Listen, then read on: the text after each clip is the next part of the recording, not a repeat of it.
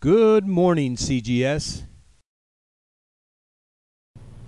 Good morning, Chester Grade School. We would like to start the morning with a moment of silence.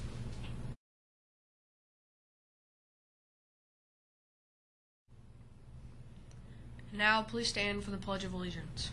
I pledge allegiance to the flag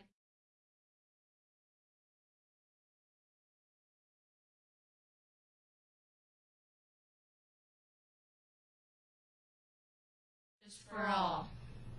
And now for today's announcements. Good morning, CGS. Today is Monday, January 30th. Today is National Bubble Wrap Appreciation Day.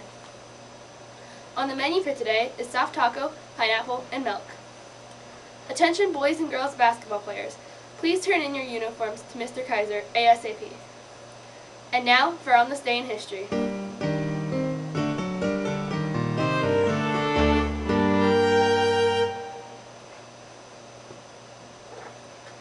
On January 30, 1835, Richard Lawrence misfires at President Andrew Jackson in Washington, D.C.